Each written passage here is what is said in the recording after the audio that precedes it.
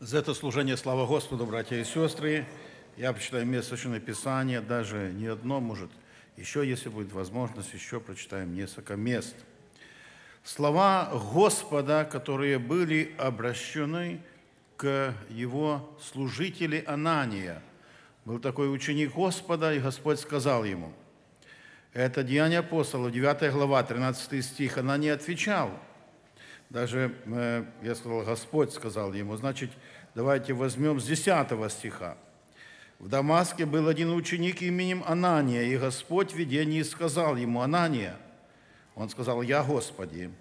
Господь же сказал ему, встань и пойди на улицу, так называемую прямую, и спроси в Иудином доме Тарсянина по имени Савла, он теперь молится. И видел видение мужа именем Ананию, пришедшего к нему и возложившего на него руку, чтобы он прозрел. Она не отвечала, Господи, я слышал от э, многих о сем человеке, сколько зла сделал он – святым Твоим в Иерусалиме. И здесь имеет от первосвященника власть вязать всех, призывающих имя Твое. Но Господь сказал ему, иди, ибо он есть мой избранный сосуд, чтобы возвещать имя Мое пред народами и царями и сынами Израилевы. Я покажу ему, сколько он должен пострадать за имя Мое. Она не пошел и вошел в дом, и возложил на него руки – сказал брат Савл, Господь Иисус, явившийся тебе в пути, которым ты шел, послал меня, чтобы ты э, прозрел и исполнился Святого Духа. И тот час как бы чешуя отпала от глаз его, и вдруг он прозрел и встал, крестился, и принял в пищу, укрепился, и был Савл несколько дней с учениками в Дамаске. Братья и сестры, э, когда мы задаемся часто вопросом, как в Библии все хорошо описано. А как вот эту историю написал? Этот брат, который писал «Деяния апостолов». Как он написал эту историю, братья и сестры? И мы, Божье, Божье Слово, мы читаем, что это Лука написал Феофилу. Как он написал? Братья и сестры, замечаю одно место. «И видел Лука в видении всю эту историю. И говорит, и видел в видении мужа именем Ананию, пришедшего к нему, и возложившего на него руку, чтобы он прозрел. Часто некоторые места Священного Писания нам непонятно, но как они написаны? Божье, Божье Слово говорит, это Господь ложил на сердце мужам описать одно или другое событие, которое мы читаем. Когда читать э, Э, книгу пророка Наума. Я когда читаю Наума пророка книгу и думаю, как он написал? Он говорит, несутся по улицам колесница, колесницы, сверкая, сверкая огнями своими. Это машины, которые сегодня несутся по улицам. Как это все описано? Он как мог, так написал. И э, написано, речные ворота отворяются. А что такое речные ворота? Это дамба, которая заграждена Раньше таких, таких ворот не было.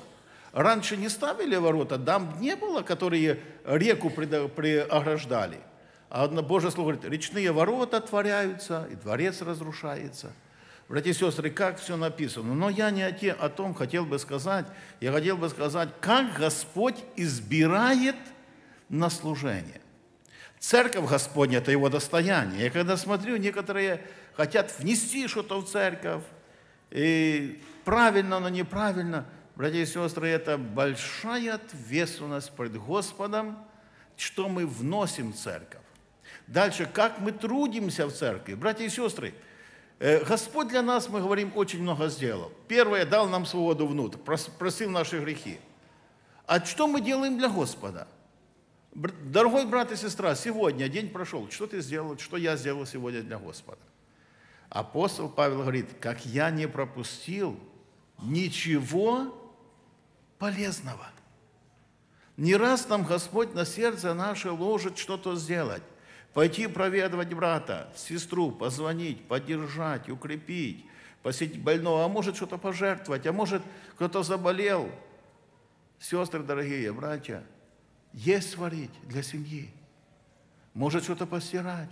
Разве нет у нас то на сердце, ни Господь нам не ложит это? А мы раз то, и написано, занялся одними, другими делами, и все, она ушло, кто-то другой.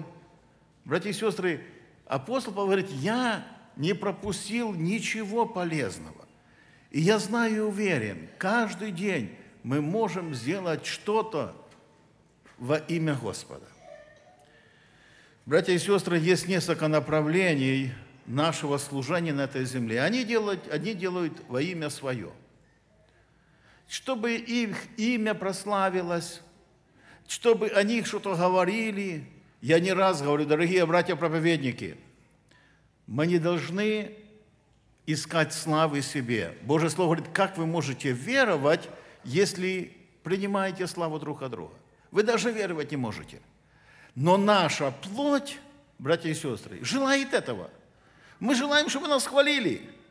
Если пророчество, чтобы было хорошее пророчество.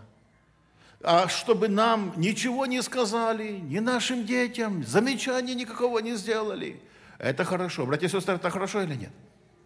Божье Слово говорит, пусть обличает меня праведник. Это лучший елей, который не повредит голове моей. А мы этого елея хочем? Ой, наверное, не хочем. И я смотрю, братья и сестры, вот как мы сегодня обращаем внимание на Божье Слово. Мы, наша плоть привыкла к этому, чтобы и пророчество было, и беседа была, и никто в наш адрес никакого замечания не сказал. И таким, братья и сестры, путем идут люди этого мира. Таким путем они идут. Они хотят, чтобы их хвалили, на первые места садили и так дальше. Братья и сестры, на Божье Слово говорит, желающие жить благочестиво. Те, которые хотят жить так, как Господь. И Божье Слово говорит, если зеленеющим деревом это делают, что мы должны ожидать в нашей жизни? Дорогая церковь, христианин, которые сегодня в этом служении научить и наших детей тоже, чтобы они были, знали это, что значит быть светом для этого мира, что значит быть солью для этого мира, примером, образом. А часто мы уж учим детей наших, чтобы они не отличались от этого мира. Ни внешностью, ни поведением – а что она будет, белая ворона? А что она будет отличаться? Братья и сестры, как Божье Слово говорит? И посему, да поможет нам Господь, братья и сестры, в это последнее время не искать славы себе, но прославлять имя Господа. Некоторые проповедники или даже ну, верующие христиане не желают затронуть какой-то тяжелый вопрос. Часто говорят, ну слушай, ты скажи, а зачем мне лишние проблемы? Я не хочу лишних проблем. Господь, братья, ложит нам слово на наше сердце, но мы его не хотим говорить. А зачем? Я лучше какое-нибудь другое скажу. Я однажды говорил, я тоже хочу проповедовать и о небо, и о Божьей благодати, и о силе молитвы. Но Господь ложит слово на сердце, и мы не можем не говорить об этом. Братья и сестры, если нам на работе что-то поручают, вот представьте, мы сегодня рабы Господа Иисуса Христа. А представьте другой. Мы на работу пришли, устроились и работаем. И он сказал нам, сделай то. А мы не хотим это делать, мы будем другое делать. Нас долго будет держать на этой работе. Хозяин сказал, я тебе сказал сделать вот это. Что ж ты делаешь другое? Ну, он сказал сделать что-то для бизнеса, а я делаю себе домой. Он пришел, посмотрел, ты что делаешь? И говорит, там мне дома надо что-то сделать. Ну, слушай, ну ты же на работе. Братья и сестры, мы это все хорошо понимаем. Разве не так? Кто нас будет держать, если мы будем на работе делать себе какие-то домашние вещи? И также в церкви Господней не то делать, не то говорить, дорогие братья, служителя и проповедники, что нам часто нравится, а то, что Господь нам ложит на сердце. И мы будем угодными работниками в Божьем винограднике, в Божьей церкви. Написано, Господь сказал, пойди на улицу прямую. Господь сказал э, Филиппу, иди на дорогу, ведущую из Иерусалима. Он туда пошел. А если он пошел, как, как Иона, на другую? В другую сторону, Фарсис поплыл. Господу это угодно? Дорогая церковь, если Господь нас посылает что-то сделать, есть Божий план. Но я другое скажу. Кто-то в беде, нас Господь посылает туда, а мы не хотим идти, в другое место идем. Завтра мы будем в беде, и схочем, чтобы нас, к нам кто-то пришел, а тот пойдет в другую сторону, а будет хорошо для нас. Или нужда какая-то, или болезнь, или мы упали, не можем выбраться с данной ситуации, или может еще какая-то трудность финансовая, и Господь послал нам человека, а он не пошел к нам, пошел в другую сторону. Как мы вчера сделали, так сегодня и с нами поступили. Братья и сестры, братья дорогие проповедники, служителя, регента, хористы, те, которые участвуют в служении, в нашем служении прославлять не себя, но имя Господа. И Господь на это смотрит и будет благословлять нас, когда мы работаем на церковь Господню. Божье Слово говорит, когда Христос был на земле, Он сказал, я прославил, братья и сестры, Христос имел право прославить себя, имел право, Он был Бог на земле – но он сказал, я прославил тебя, я открыл им имя твое. Но мы сегодня в нашей гордыне можем так часто вознестись, что Господь где-то там внизу, а наше «я» или мы впереди. Я когда смотрю картину какая-то, и там о Христе ни слова, брат проповедует, тысячи людей. Думаю, а где Господь? А где Господь? И посему, дорогие братья и сестры, делать то, что угодно Господу, проповедовать то, что угодно Господу, не нам, что угодно, Господу. На этой земле славы не искать. На этой земле не будем искать того, чтобы нас хвалили. Братья и сестры, я не раз говорю, особенно беседуя с молодыми, не ищите, чтобы хвалили вас.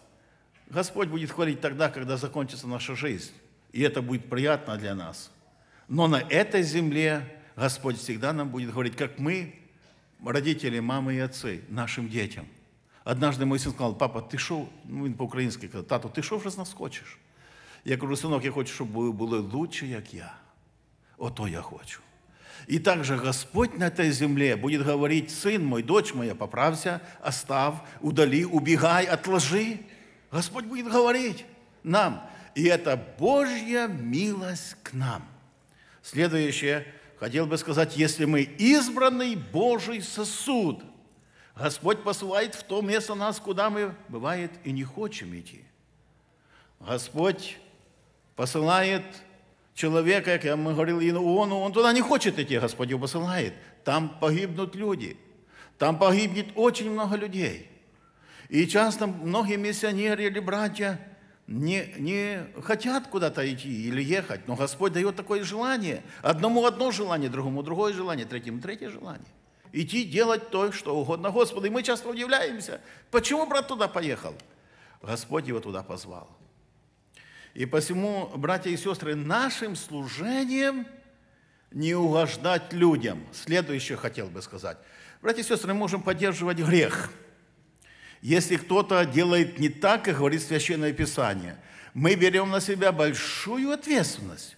Если кто-то оставил жену и берет себе другую, и мы говорим, хм, правильно делаешь.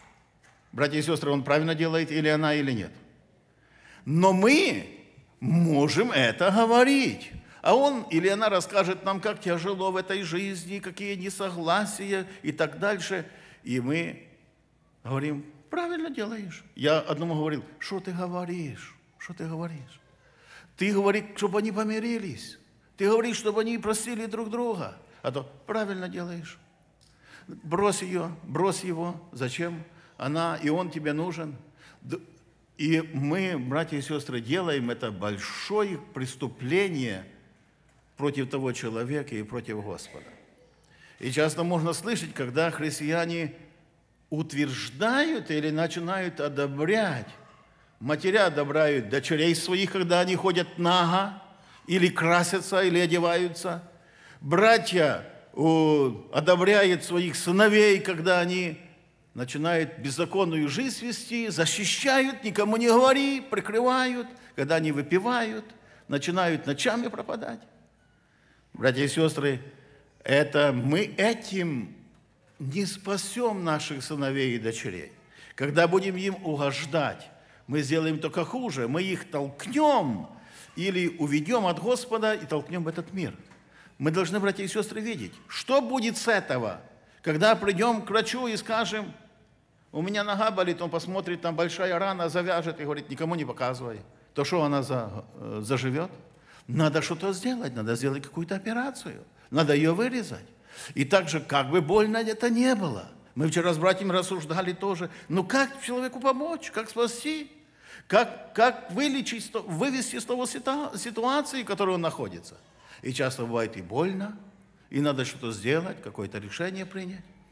И третье, братья и сестры, делать то, что угодно Господу. Только то, что угодно Господу. И Господь благословит нас, братья и сестры. Об этом нужно молиться, э, об этом нужно просить Господа помощи, поститься. Ну, представьте, мы сейчас будем молиться. Я только э, хотел больше сказать, хочу один пример привести. Одному человеку пророк сказал, пойди накопай овощей. А другому сказал, поставь большой котел и, и свари не борща и супа, а похлебку. Ну, что-нибудь похожее на суп. Я так рассуждал, похлебка. Что такое похлебка, сестры? Это борщ, суп? Ну, это что такое? Такое вода и еще что-нибудь добавленное. Ну так, что такое, даже не, не похожее ни на суп, ни на борщ. Что такое еще намного меньше. И его сказал ему пророк, иди овощей накопай. А что он принес? Церковь, братья и сестры, что он принес? Братья проповедующие, что он принес этот человек? которому пророк Господень поручил, иди накопай овощей, принеси овощей. Я не знаю, принес он овощи или нет, а беды принес. И так часто бывает и в нашей жизни делать то, братья дорогие, молодежь, чему призвал нас Господь? Только то. И быть точно уверенными, что это угодно Господу. Я даже говорю, сто процентов уверенными быть, что это от Господа. Нет лукавого, нет людей этого мира, нет какого-то заблуждения. Сто братьев или двадцать братьев ему говорят, не делай, это не то. А он, ну, я буду это делать. А апостол Павел говорит, если мы или даже ангел с неба начнет вам говорить или благовествовать не то, что мы благовествовали вам, да будет анафима. Дорогая церковь, все, что нам приходит, есть Слово Божье. И все должны пропустить через Божье Слово. Оно вписывается в Слово Божье или нет? Кто бы нам что-то не сказал. И посему да поможет нам Господь, братья и сестры, это последнее время ответственным быть, дорогой брат, за свою семью, за свой дом, за свою жену и за своих детей – Нелегко быть ответственным за свой дом, за церковь, братья. Что мы говорим? Мы видим беду и говорим о чем-то другого, о небе проповедуем.